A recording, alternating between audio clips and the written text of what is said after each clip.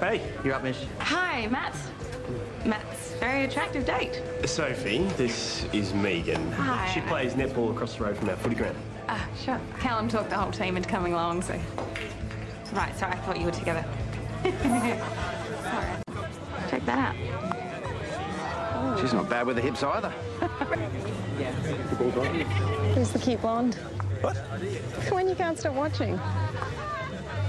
Look, I don't want to get in the way of anything, so I might go. No, no, no, no, no, no. Stay, stay, stay.